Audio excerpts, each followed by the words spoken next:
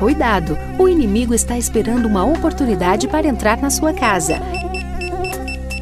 Elimine os locais com água parada e não deixe a dengue, o zika vírus e a chikungunya chegarem perto de você e da sua família. Apresentando sintomas, não utilize medicamento por conta própria. Dúvidas? Consulte seu farmacêutico.